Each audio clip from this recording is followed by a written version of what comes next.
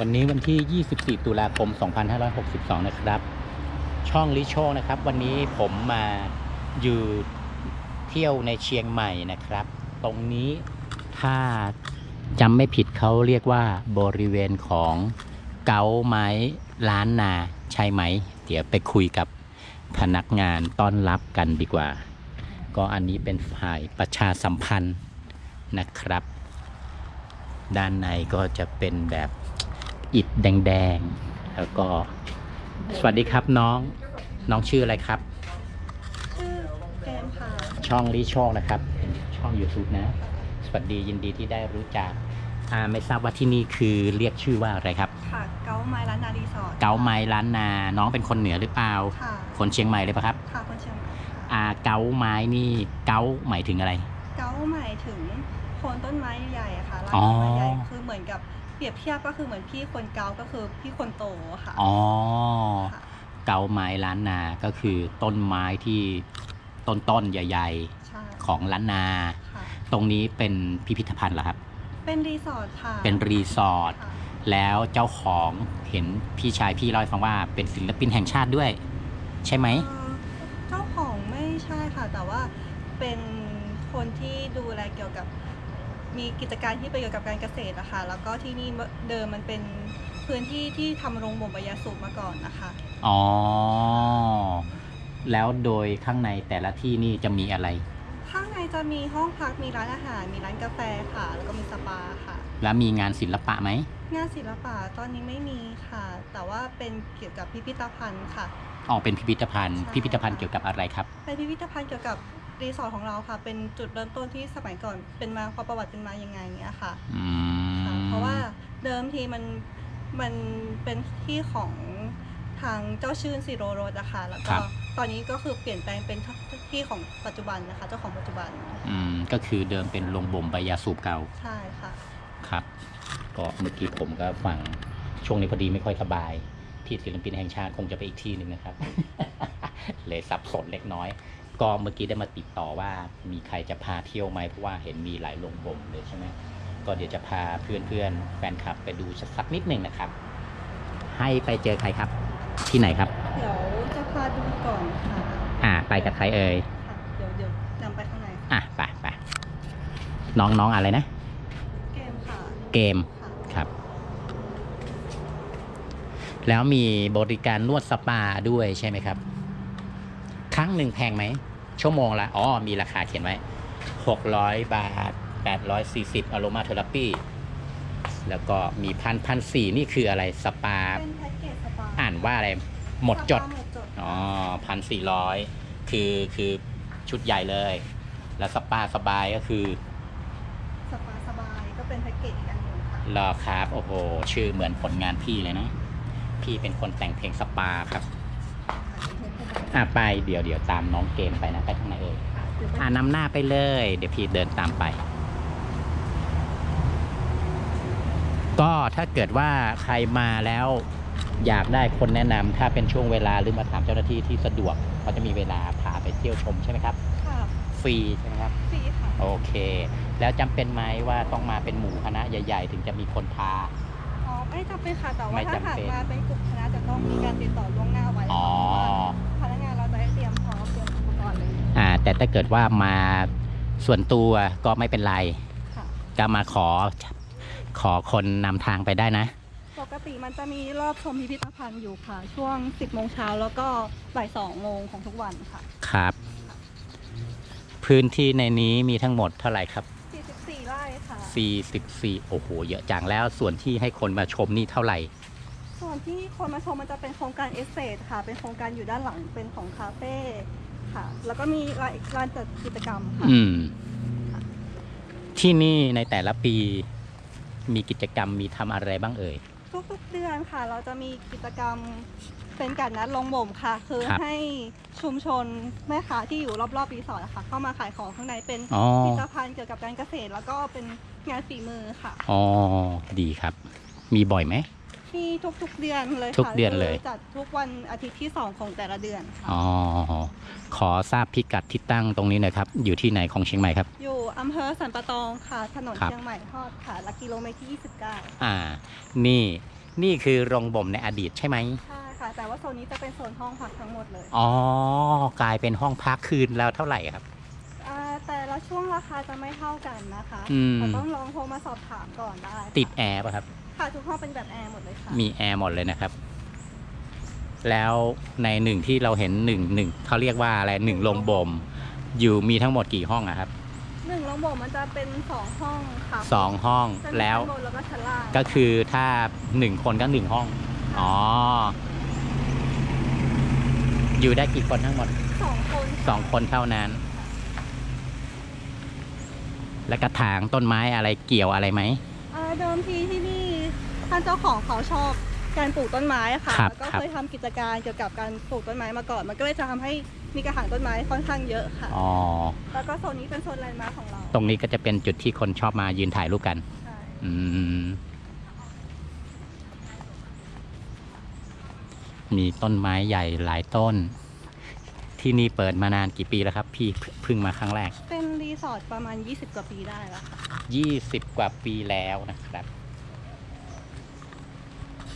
เปิดกี่โมงถึงกี่โมง ส่วนตัวคาเฟ่จะเปิด9โมงเช้าถึง6โมงเย็นค่ะ แล้วก็ร้านอาหารเปิดตั้งแต่7โมงเช้าจนถึง3ทุ่มค่ะ ครับ แล้วก็เห็นว่าถ้าเข้ามาจะไม่ต้องเสียค่าตั๋วก็คือต้องมาปั๊มบัตรเพื่อดื่มกาแฟ ค่ะก็คือคนละหนึ่ง คนละหนึ่งแก้วก็คือมากี่คนลูาใช้บริการของคาเฟ่หรือร้านอาหารสมมุติมาสี่คนก็ต้องกินสี่แก้ว อ่าเป็นสีแก้วได้ค่ะ หรือว่าจะเป็นขนมอะไรก็ได้อ๋อ แล้ว เป็นโซนทานเข้าคาแล้เฟ่วร้านกาแฟร้านอาหารคาเฟ่โรงบ่ม แล้วถ้าเกิดว่าไม่ไม่ไม่กินอะไรจะต้องเสียค่าบัตรคนละเท่าไหร่มาเที่ยวอย่างเดียว อ่าเราจะไม่มีค่าบัตรแต่ขอลูกค้าใช้บริการของเราดีกว่า อ๋อครับ แล้วก็ส่วนอันนี้จะเป็นพิพิธภัณฑ์ค่ะเข้าไปดูสักนิดนะ ค่ะ ให้น้องเกมพาเข้าไปดู แปลกๆสำหรับคนไม่เคยมาเที่ยวนะครับ ขึ้นไปยืนเดินบนนี้ได้เลย คืออะไรเอ่ย เป็นเรื่องราวของเก๊าไม้ Estate ค่ะอ๋อเก้าห้าว่าเป็นมายังไงอะนะ ใช่ค่ะ เพราะว่าเดิมทีที่นี่มันจะเป็นของเจ้าชื่นสิโรรสค่ะ แล้วก็มีการเปลี่ยนแปลงเจ้าของค่ะอืมน้องเกมพูดไปได้เรื่อย ๆ เลยครับ อยากอธิบายพูดไปได้เรื่อย ๆ เลย พี่ให้ดูบรรยากาศนิดนึง ไอ้ตรงนี้คือเขาเรียกว่าอิฐอะไรในคนเหนือเขาเรียกว่าอิฐอะไรอะดินกี่ค่ะดินกีใช่ค่ะ สูงดีเนาะสามชั้นได้เนาะประมาณสามชั้นค่ะ อืมสวยงาม แล้วโพรงตรงนี้มีไว้เพื่ออะไรระบายอากาศหรืออะไร ใช่ค่ะ เพราะว่าเมื่อเดี๋ยวเดี๋ยวจะพาไปที่โรงบ่มสาธิตนะคะอ่าครัแล้บ วก็เดี๋ยวดูว่าเมื่อก่อนโรงบ่มเขาบ่มกันยังไงอย่างเงี้ยค่ะ ครับไปไปดูลงต่อไป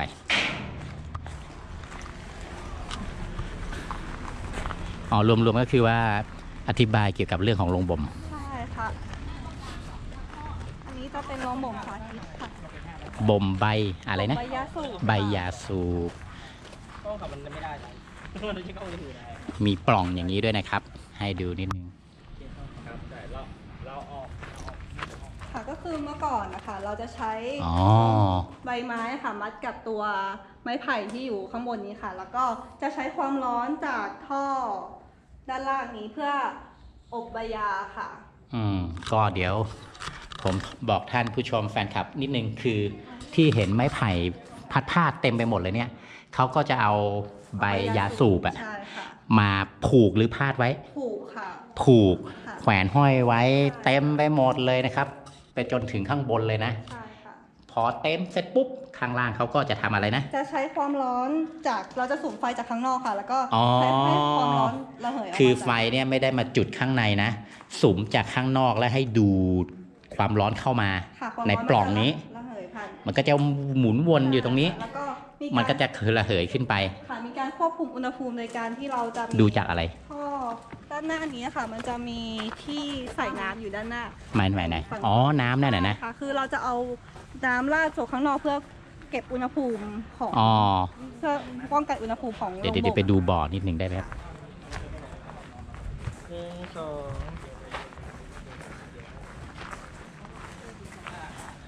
นี่นะ ไปเถอะเขาก็อาจจะอธิบาย ผมไม่พูดเยอะแล้วกันให้น้องน้องเกมเขาบอกก็คืออันเนี้ย จะเป็นที่บอกว่าควบคุมอุณหภูมิครับความร้อนคือะเราจะเอาน้ำใส่ที่นี่ค่ะน้ำใส่ในนี้จะแล้วก็จะเอาน้ำค่อยๆเทราดอ๋อ ความเพื่อความร้อนความร้อนเนี่ยมาจากการต้มน้ำอ๋อความร้อนฮะมาจากการสุ่มไฟด้านนอกการสุมค่ะไฟแล้วละน้ำนี่เพื่ออะไรนะควบน้ำคุมก็อุณหภูมิควบอุณหภูมิโดยการจะเอาน้ำจากถังตรงนี้มาราดรอบๆอ่าอ๋อตึกลงบบเนี่ยค่ะ เพื่อเก็บอุณหภูมิให้มันคงที่ค่ะ อ๋อเพราะว่าคบถ้าคหารักบมันร้อนเกินมันก็คือจะทำให้ใบไหม้ได้อย่างเงี้ยอืม ก็คือใช้น้ำลดความร้อนใช่ควบค่ะคุมใช่อะไปจุดไหนต่อ ข้างในจะมีคาเฟ่ร้านกาแฟค่ะ ส่วนบริเวณตรงนี้ค่ะ โครงการเอสเตเราเพิ่งจะมีได้รับรางวัล ด้านการออกแบบแล้วก็รางวัลของยูเนสโกเอครับเชียครับค่ะครับค่ะก็คือโครงการนี้เป็นโครงการ Estate ค่ะ โครงการอะไรนะ ค่ะโครงการ Estate 195 ค่ะ มันจะมีโซนร้านกาแฟแล้วก็มีลานอัฒจันทร์ดินเพื่อจัดอ๋อ กิจกรรมค่ะ ก็คือตัวคาเฟ่ค่ะ เราจะ ได้รับการเอ่อได้รับรางวัลเกี่ยวกับการออกแบบค่ะ แล้วก็โครงการนี้ก็ได้รับรางวัลของยูเนสโกเอเชียด้วยโอ้ค่ะ โหเยี่ยมเลยแล้วมีเครื่องดื่ม แล้วถ้าเกิดหิวหนักๆ มีมีอาหารไหมค่ะมีอาหารก็ค่ะมาซื้อทานในนี้ได้เลย ใช่ค่ะไม่ต้องกลัวว่าจะจะหิวอะไรเงี้ยนะ ค่ะ ครับก็ของคาเฟ่ค่ะเมนูแนะนำเราจะเป็นครับ น้ำมะเกี่ยงปั่นค่ะ แล้วก็เป็นขนมที่มี สูตรของมะเกี่ยงมันเป็นสูตรมะทำเอเกียงงมะใช่เกียงคืออะไร มะเกี่ยงภาษาไทยเราเรียกว่าลูกว่าค่ะ ลูกว่าอ๋อไอที่นกมากินเนี่ยนะ อ่าไม่ใช่ปะใจแต่ว่ามันต้จะนเป็นว่า สีม่วงๆสีม่วงม่วงค่ะค่ะเดี๋ยวลองเดินเข้าไปๆอะไปไป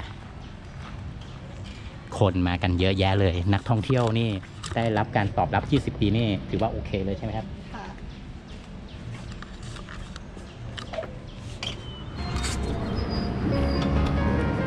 ไหนเอ่ย ตรงจุดนี้ก็มีขายขนมอะไรต่ออะไร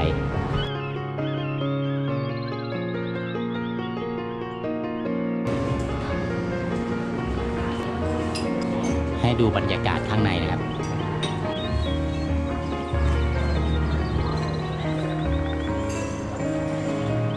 อะที่น้องเกมบอกว่าอะไรลูกว่าอะไรยังไงว่าน้ำมะเกี่ยงค่ะเดี๋ยวเราไปดูกิจกรรมกันก็ได้มาเจอน้องอีกคนหนึ่งนะครับ สวัสดีครับชื่ออะไรครับ ชื่อมณีนุตจิตค่ะชื่อเล่นกระต่ายค่ะอ๋อจะแนะนำน้ำอะไรที่ที่เป็นเขาเรียกว่าเมนูเด็ด แนะนอ่าเมนูำแนะนำอะเชิญเลย คาเฟ่โรงบ่มก็จะเป็นมะเกี๋ยง ตัวนี้จะเป็นไอศครีมมะเกี๋ยงนะคะอ๋อค่ะจะเป็นไอไอศครีมเทลเบตนะคะ อืม ก็คือทำจากเนื้อผลไม้แท้ไม่มีส่วนผสมของนมเลยแค่เห็นก็น่ากินแล้ว อ่าโคนละกี่บาทนะครับ อ่า ตัวนี้จะ 90 บาทค่ะ90จะเป็นบาทไอศครีมพร้อม waffle cone นะคะ อืม จะมีแบบถ้วยด้วยนะถ้าแบบถ้วยก็จะมีบราวนี่ให้ด้วยสำหรับลูกค้าที่ชอบทานขนม อ๋ออันนี้ก็จะมีมะเกียงสตรอเบอรี่ค่ะ แล้วต้องมาทานที่นี่ทีเดียวไม่มีส่งถึงบ้านอะไรไม่มี ใช่ค่ะมีทุกวันมาได้กินแน่นอนใช่ค่ะมีให้ทานตลอดปีเลยค่ะ ตลอดปีไม่ไม่มีว่าคนมาเที่ยวเยอะแล้วก็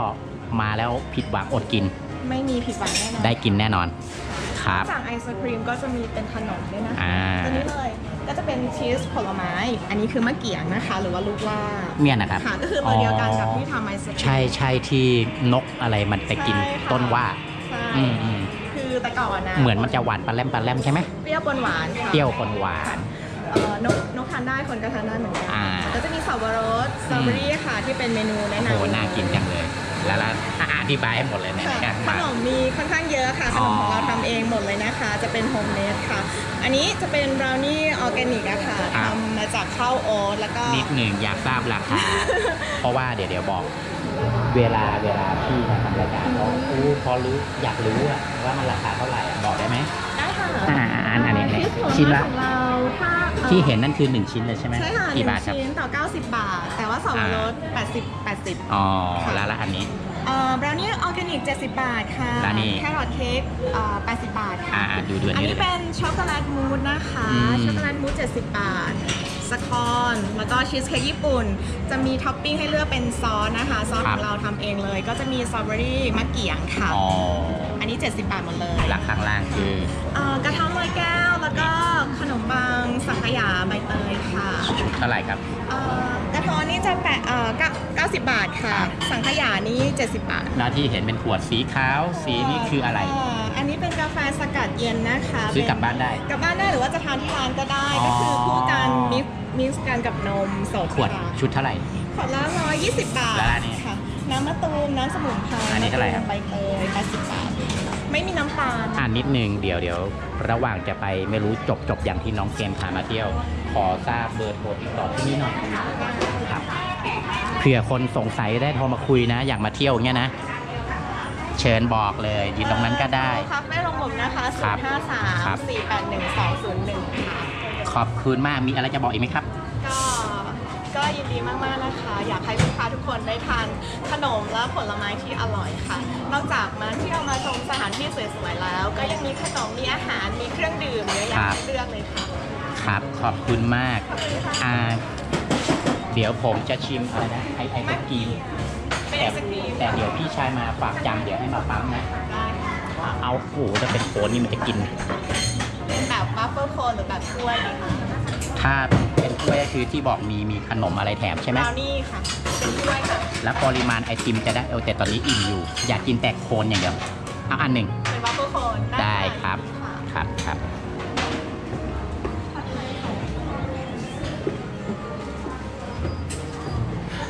อ่าน้องเกมครับ แล้วนอกจากจุดนี้นี่หมดยังแล้วก็จะมีร้านอาหารอยู่ด้านในเดี๋ยวเดี๋ยวรอรอพี่ถือไอติมกินไปด้วยได้นะ ได้ค่ะอ่าอ่าเก้าสิบบาทรอแป๊บ นึงนะ อ่าโอ้โหเอาเป็นมะเกียบนะคะไอศครีมมะเขียงอ่าอันนี้เดี๋ยวผมจะลองชิมแล้วบอกรสชาติให้ดูให้ฟัง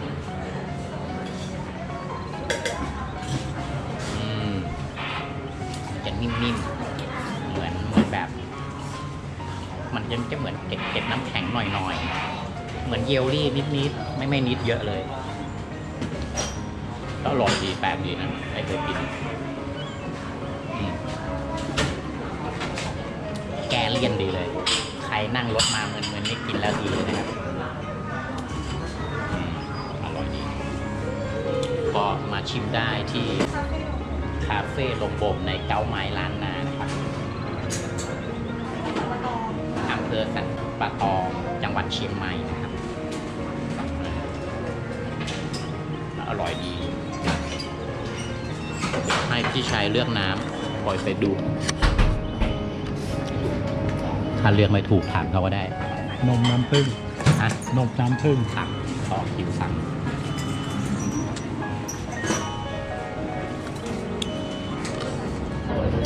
ก็เดี๋ยวไปจุดต่อไปกับน้องเกมนะครับ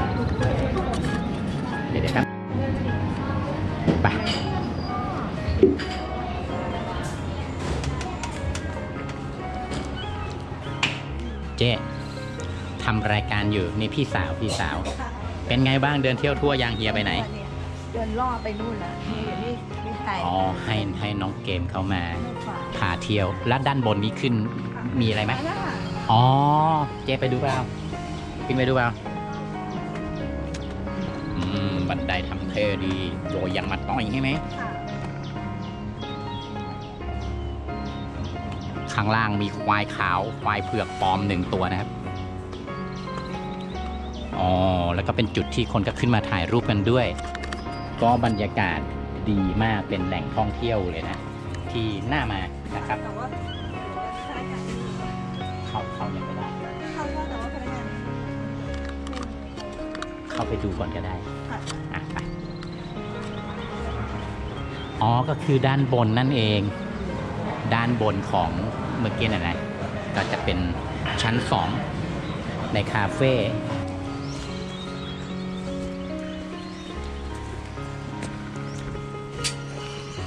หมดแล้วใช่ไหมครับ จุดสุดท้าย ก็คือจะประมาณเท่านี้เลยใช่ไหมครับ อืม โอเค สุดท้ายแล้ว สุดท้ายน้องเกมอยากฝากบอกท่านผู้ชมอะไรบ้างเชิญ ค่ะก็ อยากให้ลองแวะเข้ามาเที่ยวในกล่องเกาไม้ล้านนารีสอร์ทนะครัคะบ คือเรามีบริการทั้งที่พักร้านอาหารร้านกาแฟสามารถเข้ามาเที่ยวถ่ายรูปแล้วก็เรียนรู้ประวัติศาสตร์ของโรงบ่มใบยาสูบได้ค่ะ ครับ โอเค ขอบใจน้องเกมมากเลยนะครับ ที่วันนี้พาช่องลิโชคนะครับ มาเดินเที่ยวชมจุดต่างๆ จนครบหมดแล้วเนาะค่ะ ก็ใครแวะเวียนมาเที่ยวเชียงใหม่ก็อย่าลืมนะ เป็นที่หนึ่งที่ก็น่ามาสักครั้งนะค่ะแต่หลาย ๆ คนที่เขาชอบเขาก็มาบ่อยเลยใช่ไหมครับ ค่ะมีมาเที่ยวบ่อยอยู่โดยมากเขาจะติดใจอะไรครับ ส่วนมากชอบที่มีเครื่องดื่มค่ะคือออืมบางบางท่านจะชอบน้ำมะเกี่ยงถึงขั้นฝากซื้อซื้อไปฝากญาติหรือว่าเป็นผลิตภัณฑ์อย่างอื่นที่เป็นอย่างเช่นข้าวแต่น้ำลำไยของเราเนี่ยอ๋อ ค่ะใช่ค่ะซื้อไปฝากแล้วกันสมมุติเขาแบบอยู่ไกลอะเขามาเที่ยวไม่ได้บ่อยๆอะแล้วมีแบบโอนเงินมาส่งไปถึงบ้านมีปะ มีค่ะมีสั่งได้เลยใช่ค่ะก็เบอร์โทรที่เมื่อกี้คนเมื่อกี้บอก ใช่ค่ะโอเค ขอบใจน้องเกมมากครับสวัสดีครับสวัสดีครับ